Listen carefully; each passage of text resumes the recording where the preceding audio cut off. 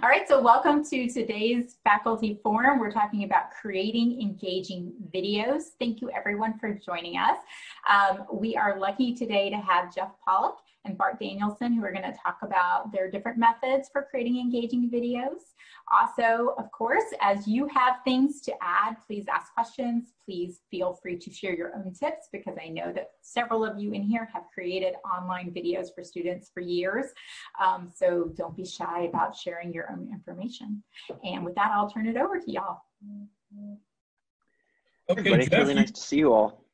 It, it's fantastic to see you all. So Bart and I are excited to um, uh, facilitate this forum. And again, Bart and I have a few things we'd like to share with you all, but basically we'd like to make this um, a, a, way to get your questions answered, provide the information that you want, you need, and um, basically draw on the collective wisdom uh, to see what best practices are regarding um, creating engaging videos.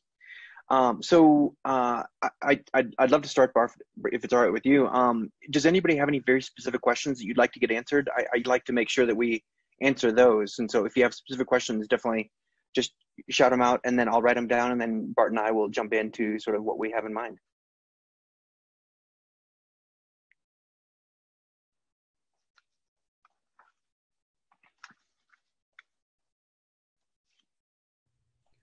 Hi, Jeff. This is Chris Hitch and Bart. Nothing on my end. Thanks. Thanks, Chris.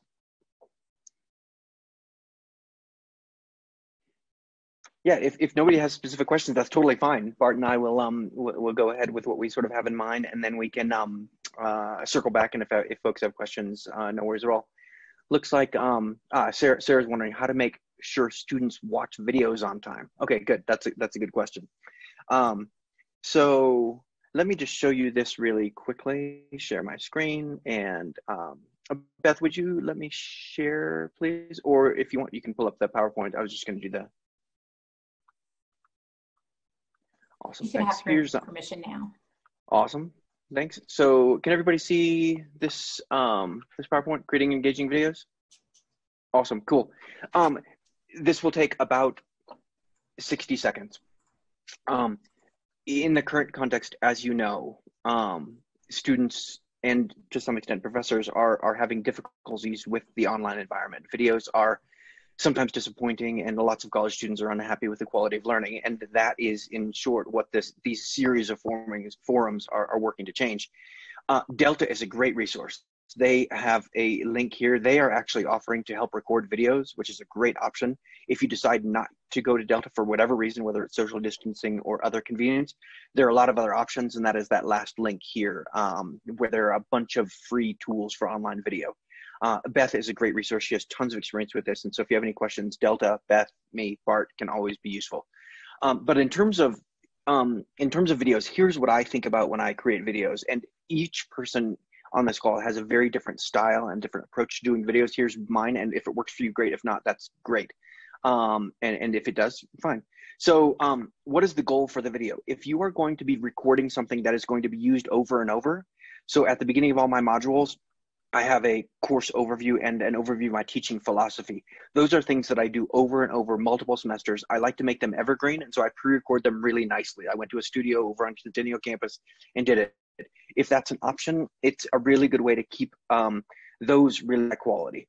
Uh, additionally, there are there are certain topics that we tend to all cover in classes, and there there are activities that we like to facilitate, and there are lectures on very specific topics. Um, for those particular types of goals, I like to actually pre-record them nicely uh, so that they're evergreen and they look great. Um, so that's this part up here. Best practices for those, short, five to 10 minutes. This is, this is not a typical lecture where you're standing in front of someone for 15, 20 minutes without taking a break. It's five to 10 minutes tops. In fact, most of mine are probably four to six. Um, I like to only cover new stuff. I never talk about things that they can learn from a book or get from a video. We want these videos to be something that is, is compelling and value added, not something that they can get everywhere else.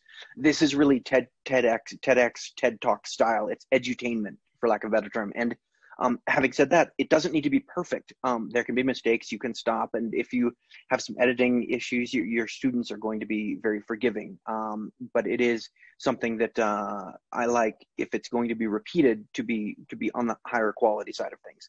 Another goal could be sort of a class logistics update, a feedback on a graded activity. I love to give video feedback. Um, it, it kills me to sort of write out feedback. Um, so I like to you know record a 15 or 30 second video being, hey, this is great. Here's what I liked. Here's what I didn't like. Um, for those, it's just facilitation. I do that on Loom or I do that on media Mediasite, Camtasia explain everything. It's just you in the screen and maybe showing their stuff. And, and Loom is the one that I've used most often. Uh, the, the aim for that in best practices would be it's just personal feedback and roadmap and tips would be would be the best practices and then um, on on the formal to less formal side. The bottom here provide personal professional opinion on current events. Um, there's a ton of stuff going on with entrepreneurship right now. And so i just you know film on my phone or on quicktime on my computer a short you know 30 second one minute video that i share with my classes. Um, it's personal. It doesn't need to grade i don't you know i wear this type of attire and it's something that you want to share with your class. It's just a personal touch, and that is just usually informal. So, in, in terms of engaging videos, that's my sort of hierarchy of what I think about. Um, if, if, that is meaningful and useful, great. If that, uh, if other people have different styles, which I'm absolutely sure they do, um, that that's fantastic as well. Beth does have this uh, both with the slides, and so I thought I'd share that just as a way to kick things off in terms of how we think, how I think about engaging videos. Um, I know Bart has a has a, a different philosophy as well, and if you've taken a look at the videos that that he has, um, you'll see we have we have uh, different styles, different content areas, um, and and that's the wonderful thing about these forums.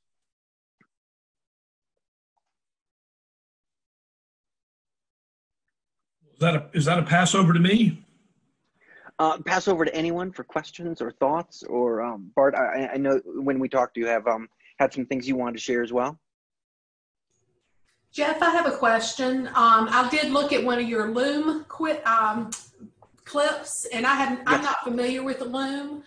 Um, I was wondering why you made the decision to use Loom instead of MediaSite or Poodle, which is in Moodle. Sure.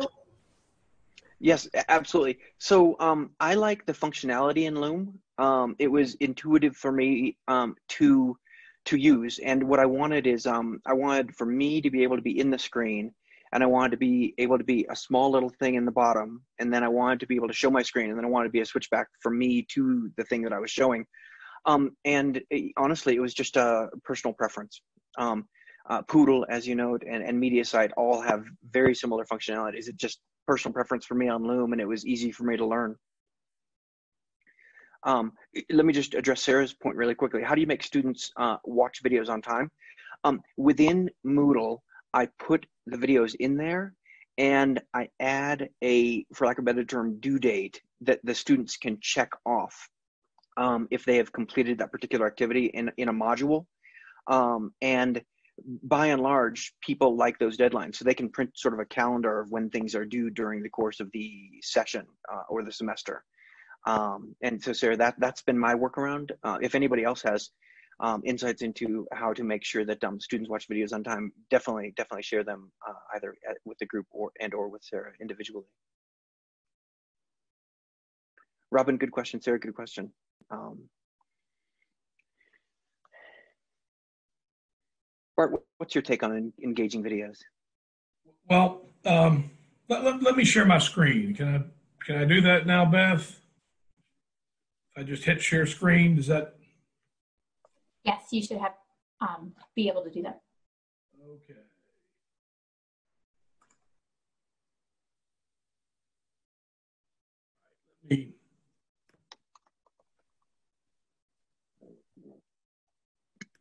So, so, so first of all, let me just say philosophically, um, uh, Jeff puts himself in the videos, and I did that early on uh, I now try to avoid actually appearing in videos that I create.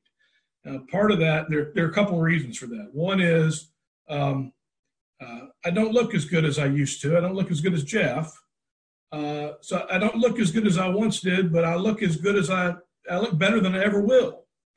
And uh, that's a, you know, just the reality of getting older. And to the extent that I'm creating any content that I, I want to have that is durable, uh, and inter, intersperse that with content that is um, uh, that is new. Uh, I think it's a distraction for the student to look at 55 uh, year old Dr. Danielsen uh, in one video, and then immediately he turns over to to 65 year old Dr. Danielsen, who's not in a coat and tie anymore. Uh, it looks looks very different. Um, so it turns out that your voice changes very little over your lifetime.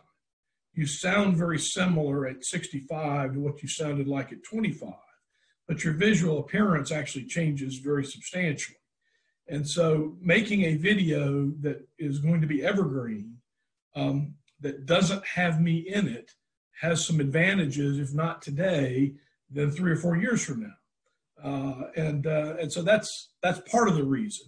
Uh, another part of the reason is, frankly, I just find it easier. Uh, you know, I don't have to um, be looking at the camera. I can have notes over to the side that I'm that I'm reading as I change whatever the visual is that's on the the page. Now, uh, you know, one thing that's clearly different about uh, a teaching a or, or using a recorded video relative to, to what we do in a classroom.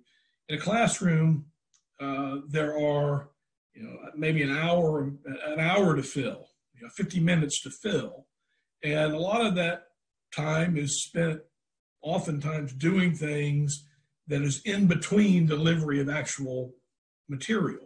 So walking over to the whiteboard or or uh, fiddling around with something on the uh, uh, to, to, to, get the, the projector to work correctly or who knows? But you know things that, that, that are a little bit of a break that's not necessarily a negative. But if you watch the six o'clock news there's none of that. There's none of this uh, taking 15 seconds to figure out you know to transition from one thing to the next. So so i kind of feel like the material that i'm putting up i want to avoid you know, making them short really helps but i want i don't feel like i need to have an hour's worth of content to do an hour's worth of, of material because part of that hour is going to be the student clicking on the, the video, you know, getting set up, things that they would normally do. Um, you know, it can just be, I don't know that it's more efficient for the student, but it can be more efficient on our side. Um, so here in Moodle, I've got a number of videos that, that I've made, and you'll notice some of them. For example, I, I've sort of got them all labeled and for this chapter and, and individual numbers. And, uh, and some of them are quite short. So this uh, 9.8 video is a minute and 14 seconds long. And it basically just, uh, I don't think there's any, uh, I don't think we can hear it. So let's well, maybe we can. Let me cut it off so that we don't hear it. Okay. So here I've got a, a, a something Bart, that I'm. I, I don't know about anybody else, but I don't think we're actually seeing the video. You're not seeing it. We still see the chart. You still see the chart. I wonder why. Did you share the chart instead of sharing your whole screen? Possible. So let me. Um, it's hard to touch anything up at the top because all of the okay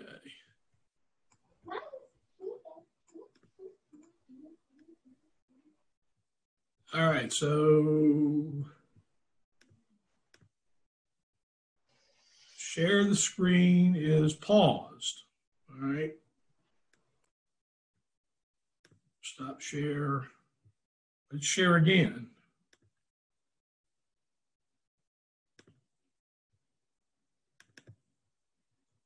Okay, so maybe we're seeing something. Can you see that now? Yes. Okay, so so um, in doing this, you know, it's really very simple. What I've done here is taken a PowerPoint slide and just used inking and laid out what I want to talk about, but whatever I'm discussing, it's as though I had a pointer. I'm just going to circle the content as I talk, and um, uh, and then provide them with new information along the way. Again, you know, inking what is important at any given point in time, and and and the student, of course, is going to end up getting this PowerPoint slide without the ink on it, or they could they could view it with the ink if they wanted to, but mostly they like to be able to print it out and just see the whole thing. But I've been able to talk them through it here. So this is this is kind of one kind of uh, uh, presentation that I'll make is to you know give talk about a particular topic, and it's actually a very low tech kind of solution. I say low tech; it's it's a pen, you know. Um, then there are other kinds, and I may run into the same issue here. Let me. Are we still seeing the same thing?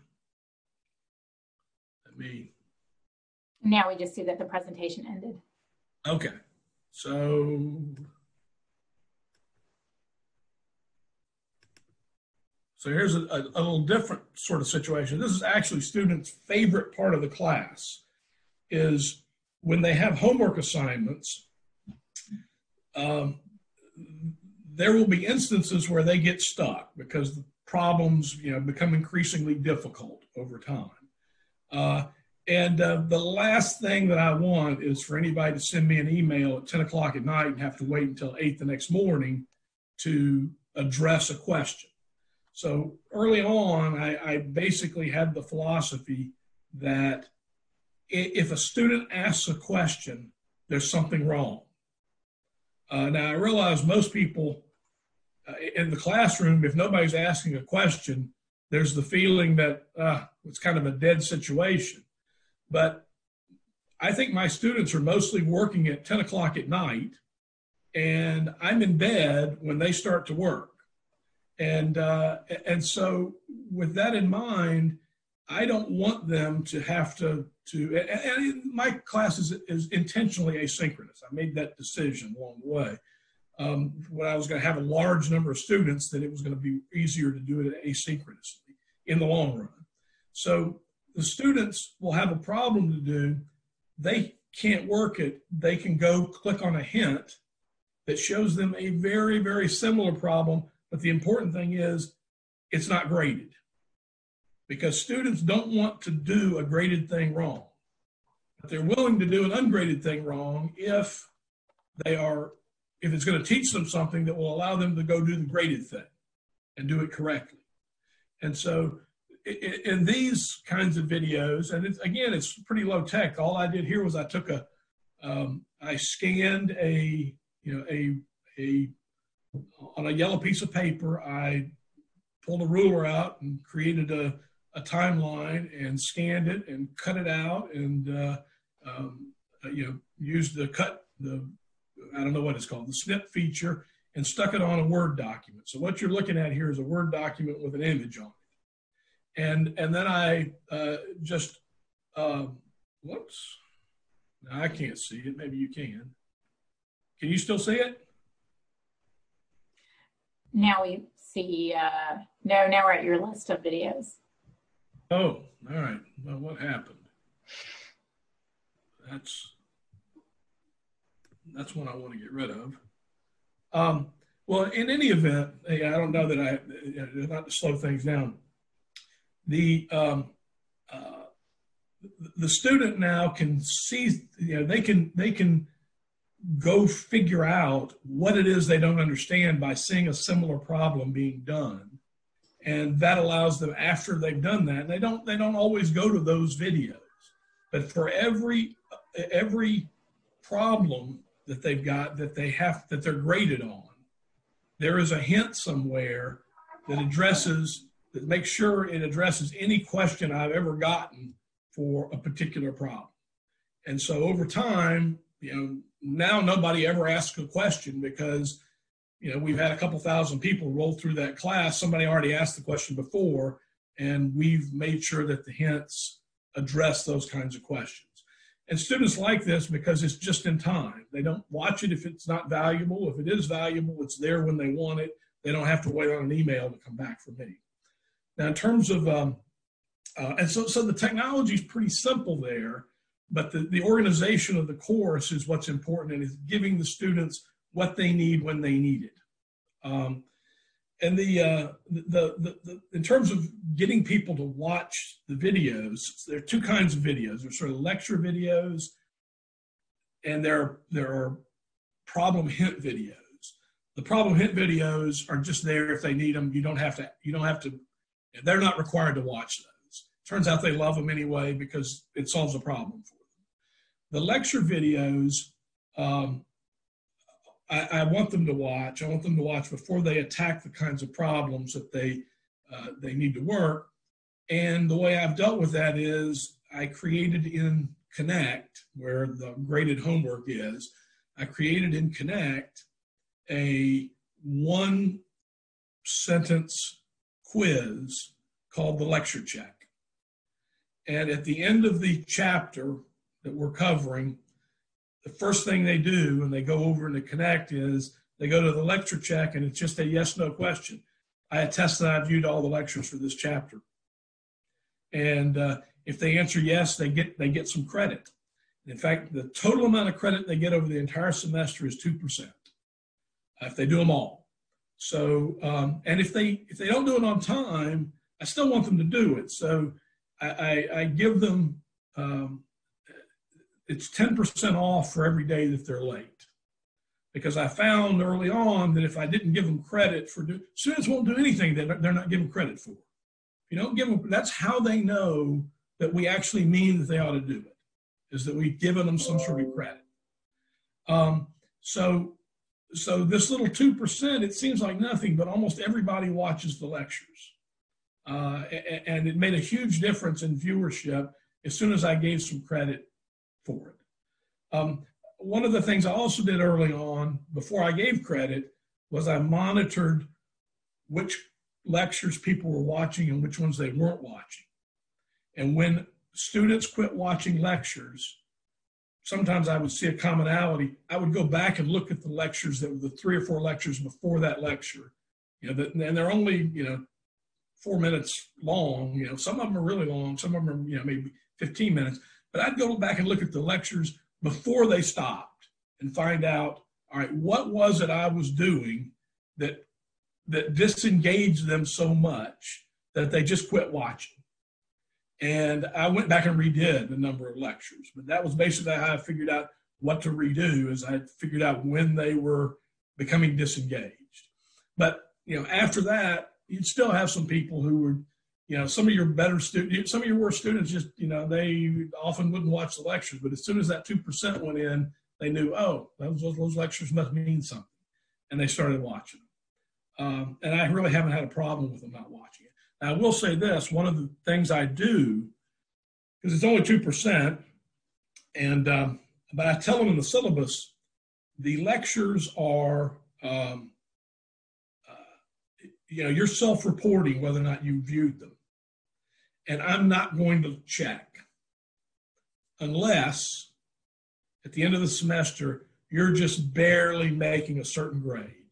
So if you've got a 91 and if you didn't watch the lectures, have had an 89, right? If you're just barely making a grade, we're going to go back retroactively and view the and and and audit whether or not you actually did the, the lectures. So if it doesn't matter whether you cheated, you won't get caught. But if it does matter, then we've got a way of catching it.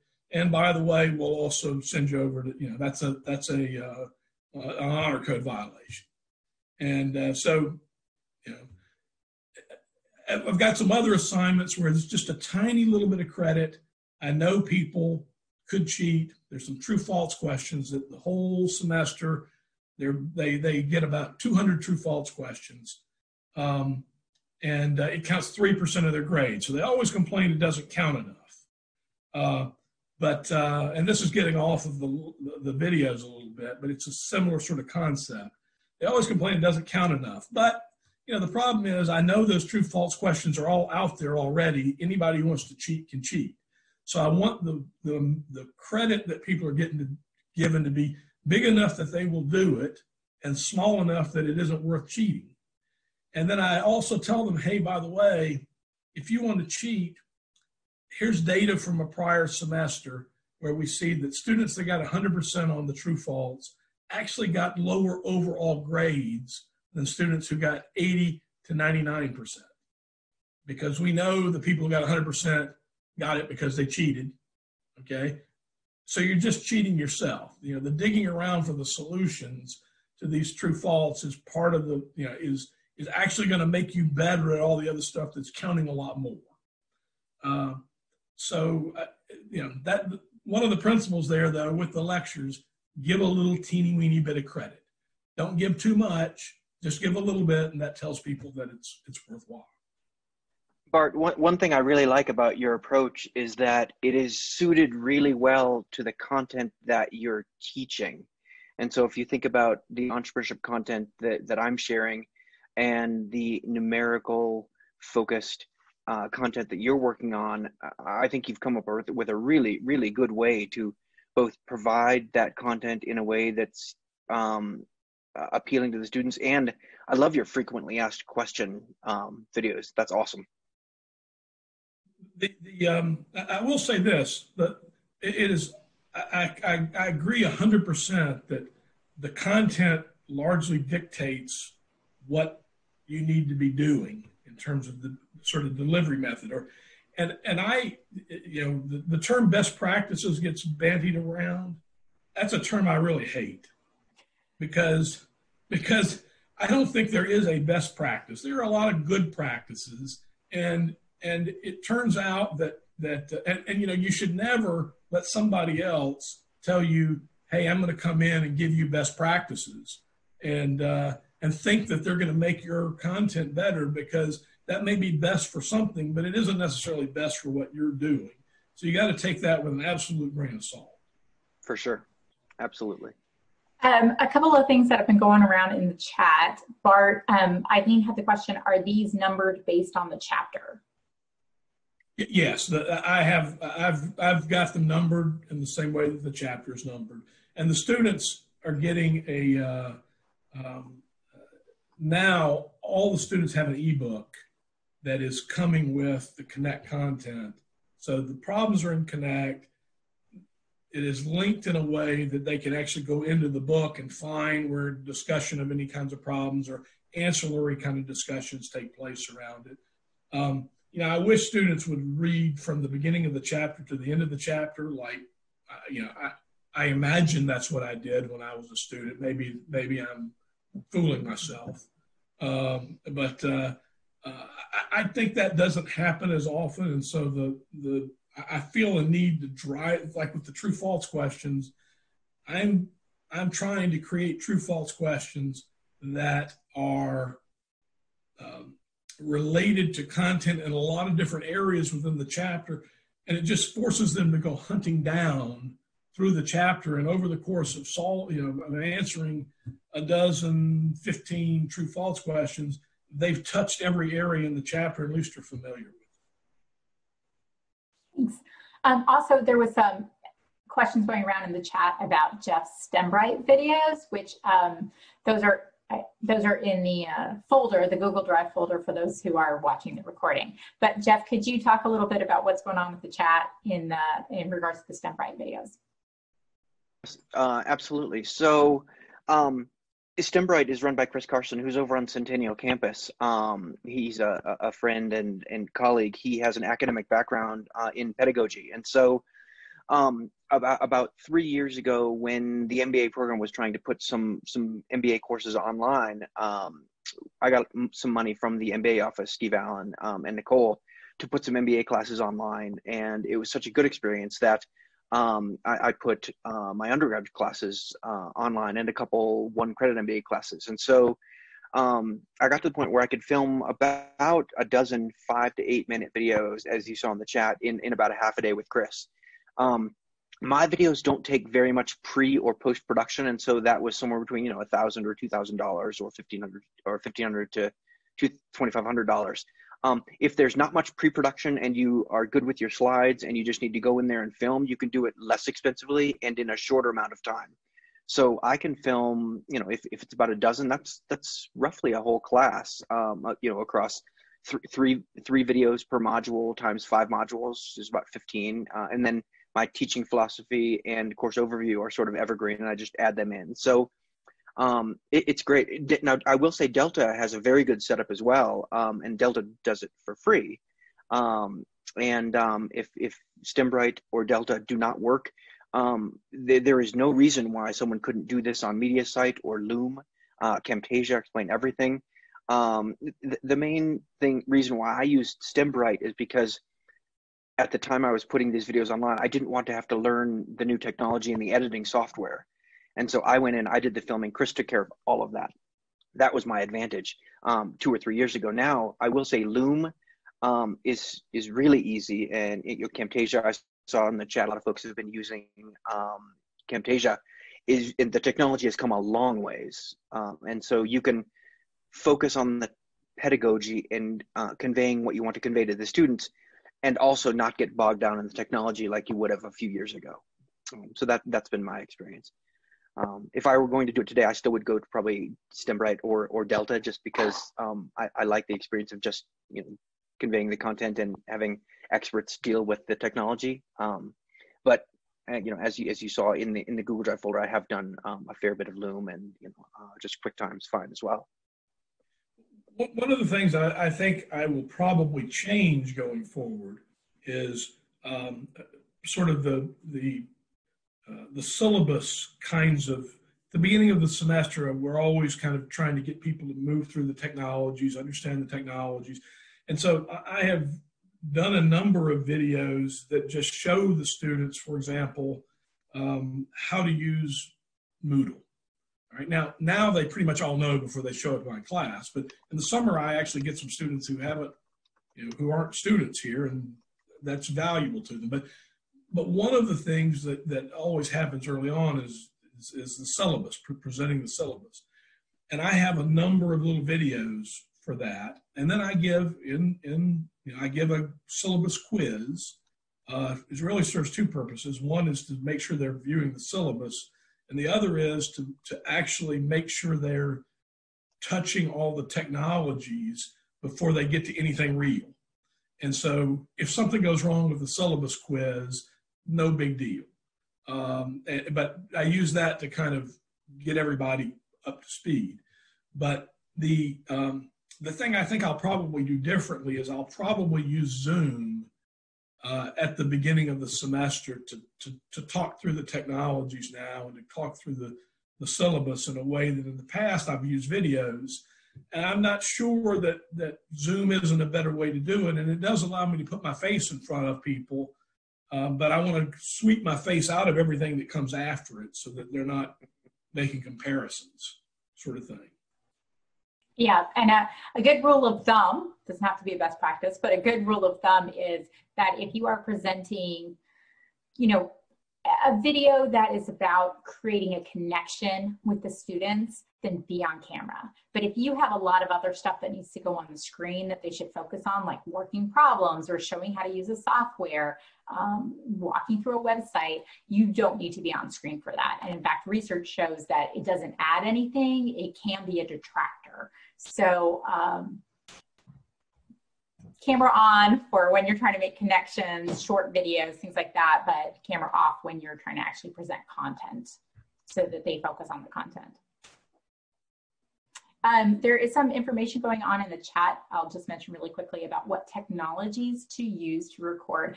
Um, and I'm going to throw in my totally unbiased opinion here, which is that explore different technologies and pick the one that you like.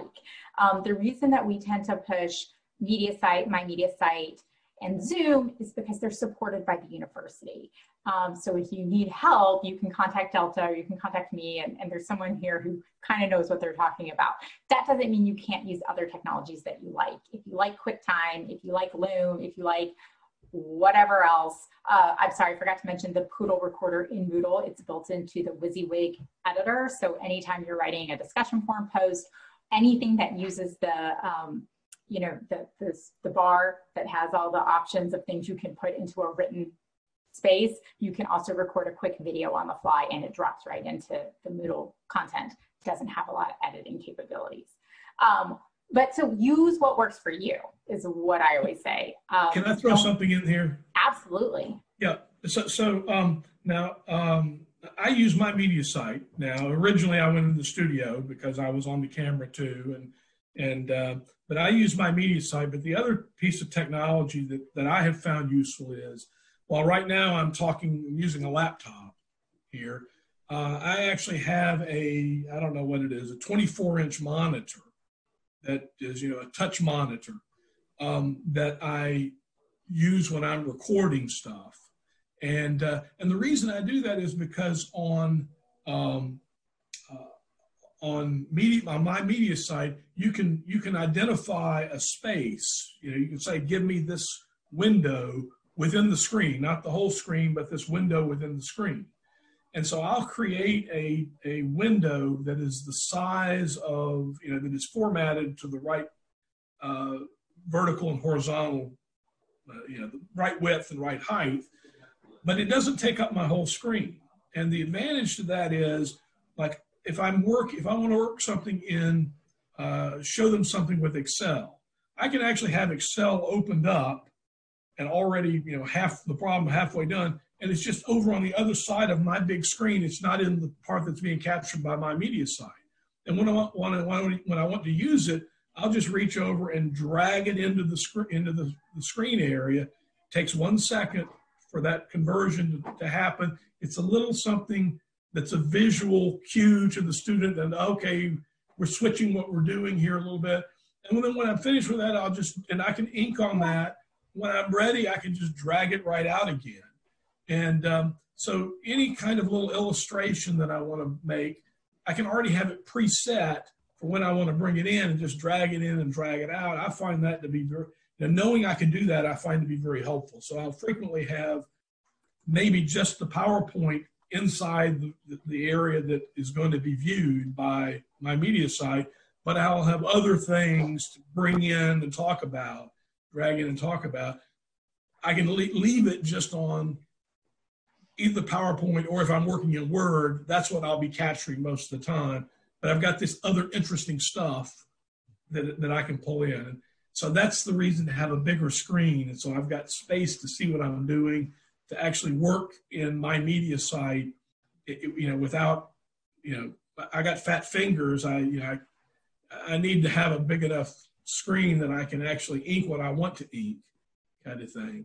Um, and um, so that's that's a technology that's not the software; it's a hardware uh, fix that I've chosen to use.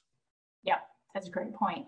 Um, there's also some stuff in the chat. Just Robin mentioned that with recording with MediaSite, it, the MediaSite player gives the students the control to minimize portions of the recording. So if they don't want to see you, they can minimize you. So that's one thing um, you can do. Also want to mention, I don't remember if it was on. They speed me up too. Sometimes and they, they can speed you up. Yeah. They speed me up. So I don't worry about, you know, talking too slow. If, yeah. if they're not happy, they can just speed me up. Yes, that's a good point. In fact, um, I highly recommend speaking a little bit on the slow side for those, you know, people who do need it slow because they're taking notes or whatever. But yes, there's now there's tools built into almost every player that let them speed you up. Um, and, and if you have not discovered that yourself, it's very helpful when you have to watch these playbacks of, um, let's say, the chancellor's messages that you're trying to get through very quickly, um, things like that. Um, I also want to mention super briefly that uh, for those who don't know, um, not trying to scare anyone, but they did do a content capture review this spring to determine what um, content capture system they want to go with in the future. We've been using MediaSite for many years. Um, and this year they are doing, I don't remember what they're calling it, a, a break it or a, they're not calling it beta, but something with um, a system called Panopto. And assuming that it all works well, then we will be moving from MediaSite to Panopto for um, the 22, we're in 2021, 21, 22 school year would be when we're transferring. Everything MediaSite is supposed to work with Panopto, so we're not going to lose all our old recordings or anything like that. You won't have to change your behavior in the classroom. But for those of you who are recording on a desktop, we will be switching systems. The um, Panopto system, if I'm pronouncing it correctly, um, is supposed to be much better. So for those of you who are complaining that like the editing is limited with my MediaSite or it's slow, um, there's a lot of new tools with Panopto that are supposed to work better. So just an idea that that's on the horizon. It doesn't mean stop doing what you're doing with MediaSite this year at all. Um, but um, for those of you who are trying to decide what should I learn, I don't know if that will influence you. Uh, Panopto has a, um, a 30 day free trial. Um, if, if you if you are inclined to think about it and are looking to try something new and interesting.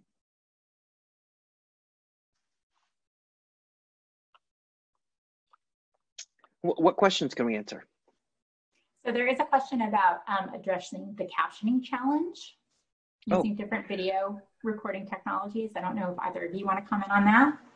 Yeah, so um, uh, I have filmed my videos and then uploaded them to YouTube. YouTube has a pr- pretty decent fic- feature that provides a transcript of the um, actual video, and so again, that, that's not trans that's not captioning. That is a transcript.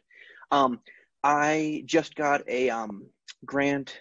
It was it, it took me about 30 seconds to apply for, and I received a grant uh, to do captioning for MIE 310, which is the um, Intro to Entrepreneurship uh, undergrad class required for all BS and BA majors.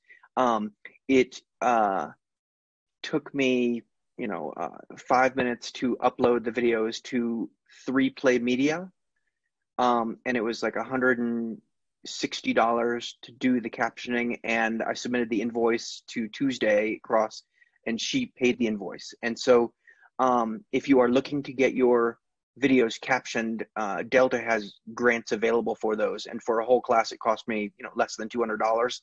Um, and Tuesday paid it. Um, and so if you're if you're thinking about doing captioning, um, I highly recommend it. Um, and it's super easy and relatively time efficient and inexpensive to do.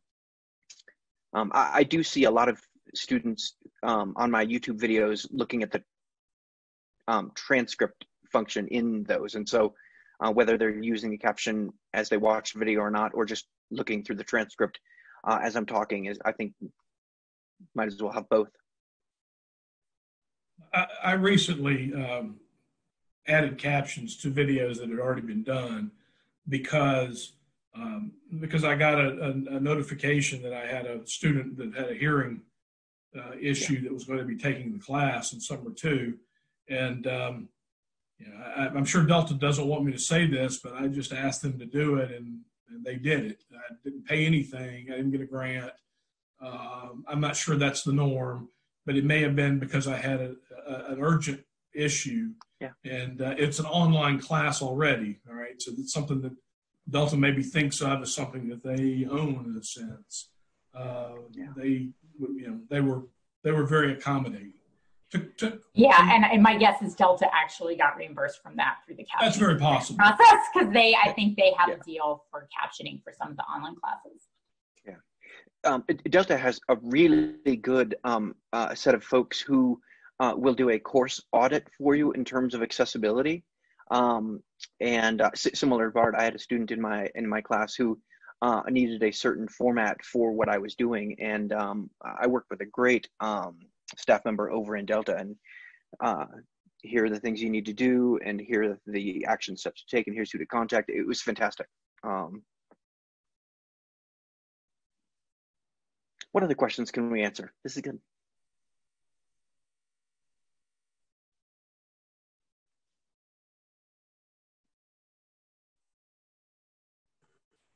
Um, I'll jump in. Has I, I recently uh, attended a Delta workshop um, on PlayPosit. Has anybody used PlayPosit in their their videos uh, that could talk a little bit about that experience? If you don't know what it is, it's it's I mean it's I'm just scratching the surface in my description. I mean it's a pretty robust uh, product. Um, what I was hoping to do, I mean uh, my you know if I'm teaching say in the auditorium, my lecture style you know included using Top Hat pretty frequently to poll students um, and just to gauge their engagement and uh, figure out what I needed to talk more about, or we could move on quickly.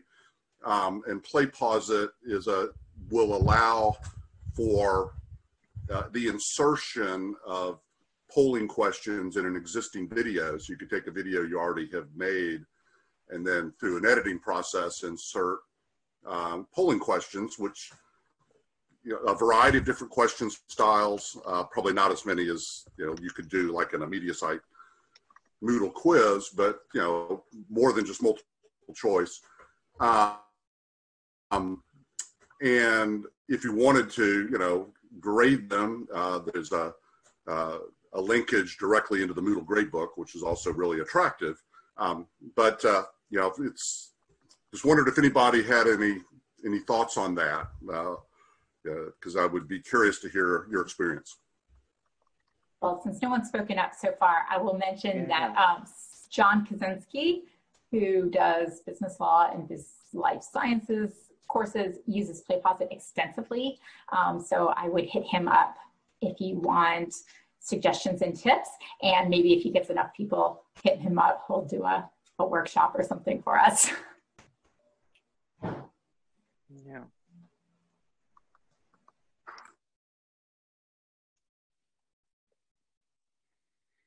Good question. So, so presumably everyone will put some videos in some form online. What are what are folks thinking about using in terms of technology?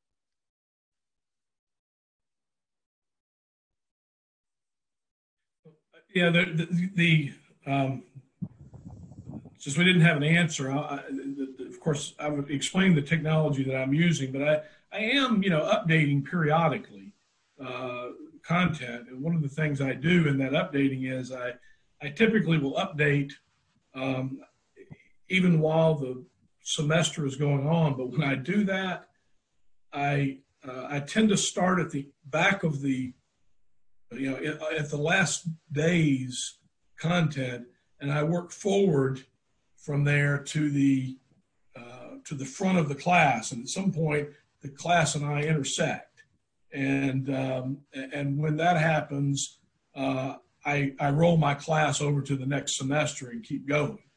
Uh, but that allows me to sort of provide, you know, relatively current content uh, and, st- and I'm not struggling to try to keep ahead of them from week to week. I'm just saying, all right, over the course of a couple of semesters, this thing is going to be you know, updated in a number, you know, a number of elements, and this is how I choose to do it: is work back to front.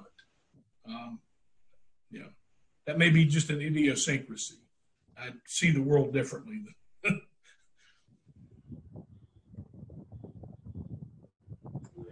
Um, and so while people are thinking about their technologies, I'm going to recap some of what's going on in the chat. Um, there are a lot of questions going on about captioning. So um, as Sarah and Jeff pointed out, one of the quickest ways to have, um, it's, it's called captioning, but really what it is is automatic transcription. So one of the easiest ways to do that is to either record with whatever tool you want and upload to YouTube and turn on closed captioning.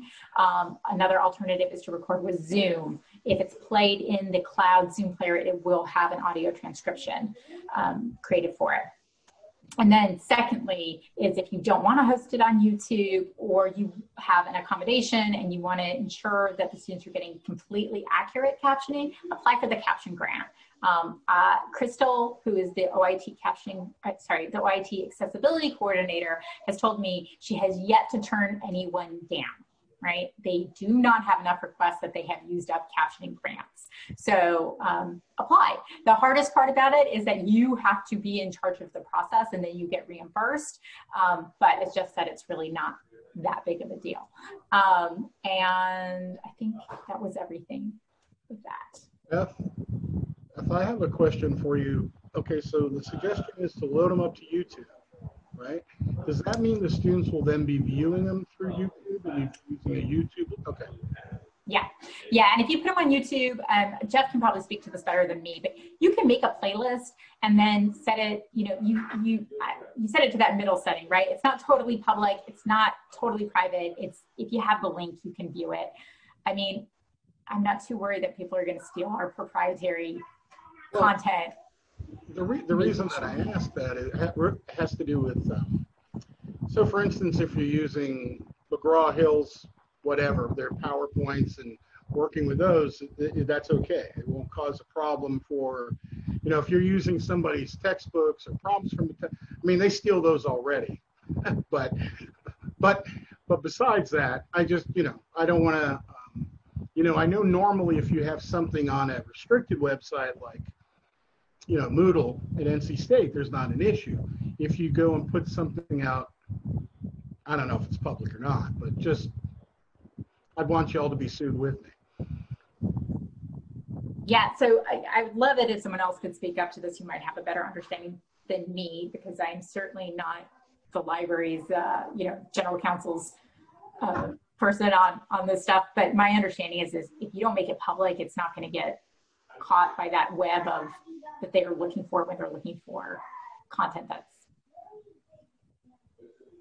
CC. Jeff, you're muted. Oh, yeah.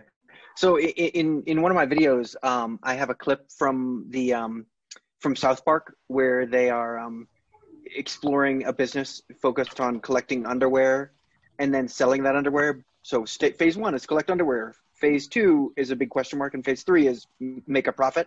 And so I use that 15 second video to illustrate the notion that you have to understand both what you're doing and how it's going to make a profit, and that middle part is really important. And um, I did get an email from uh, YouTube that said, "Please take this, you know, private content down." So I had to sort of edit that out. Um, I did find out workaround, but um, yeah, if you are just providing your content, YouTube won't have any problems. If you're showing videos or including video clips from popular TV shows, um, and it's it's viewed by a bunch of people, um, YouTube might ask you to change the content or take it down. Um, but that's you know of 60 videos that I've filmed with StemBright, that only happened once, and so like that said, it's it's a very small chance. I, I do have a technology, I guess I could show you. I use this uh, Wacom tablet um, to write on either Word documents or, and um, frankly, I find that really helpful what I, what I do. And I don't, I don't think it's terribly ingenious, but I'll pre-write notes and such on the PowerPoints. And then as I'm talking, I can make additional adjustments. Or if I'm doing problems, I can post uh, I can actually video, I put the problem and then I walk through the solution. You can basically handwrite it like a student is doing. And that's being filmed while I'm actually doing it. And, um, you know, it's a good way, um, I don't know, it's maybe basic technology, but it works pretty well. Seemed to, the students seem to like it because I have a quantitative type class being taught.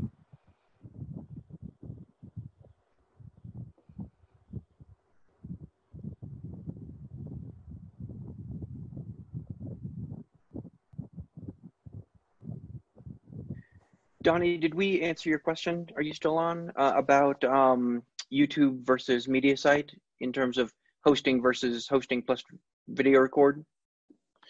Yeah, no, that yeah, that that answered that question. But but in terms of actually even hosting, are there other advantages? I mean, like, is there any? I mean, is there any reason if media sites working to use YouTube other than than the transcripts?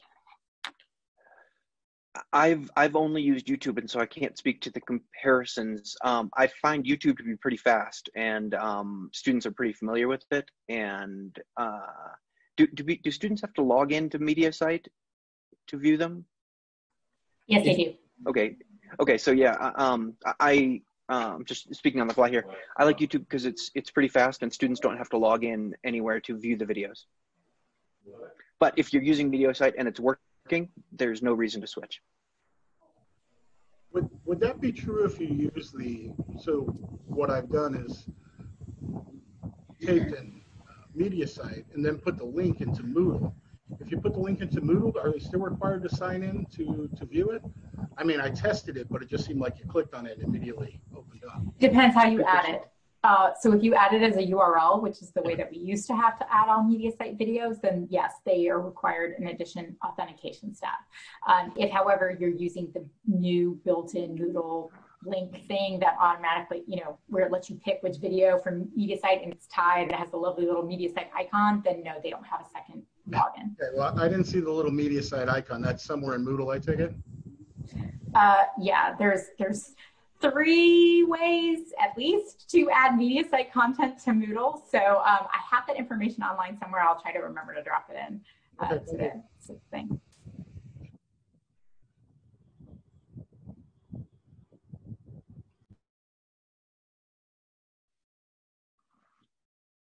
Good questions. What else can we be helpful with?